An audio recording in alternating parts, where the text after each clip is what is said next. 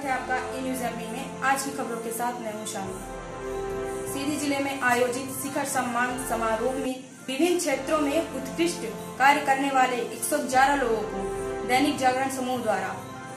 एक ही मंच पर सम्मानित किया गया है इस मौके पर सांसद रीति पाठक विधायक केदारनाथ शुक्ल